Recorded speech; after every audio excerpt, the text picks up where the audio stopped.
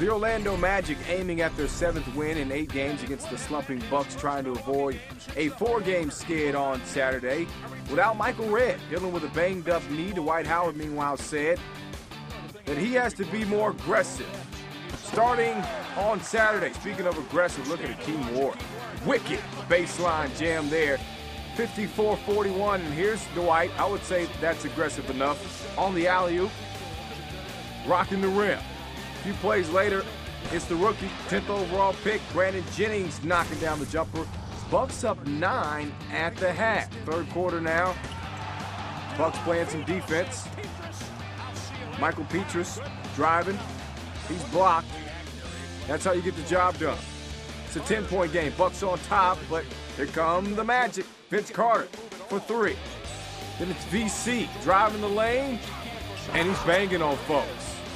Still got some juice in those legs. VC took a shot to the mouth early in this game, had to get some stitches. You couldn't tell, though, he was aggressive as ever. Scored 19 of his 25 points in the second half. Later, it's Dwight Howard spinning and winning.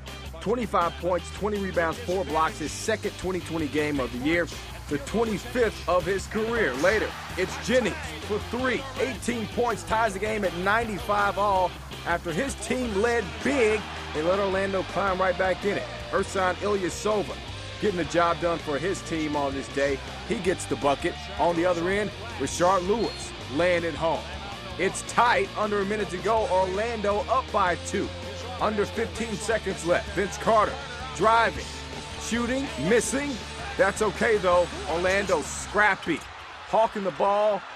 They end up with it, and that's all she wrote. Bucks are going to drop their fourth in a row while the defending conference champs continue to roll.